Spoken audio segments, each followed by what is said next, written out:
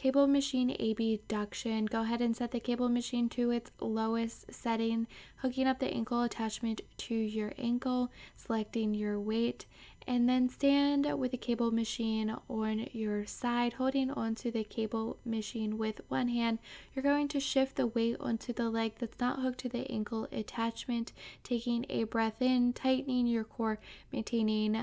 and strong posture throughout, kicking the leg out to the side and slowly and controllably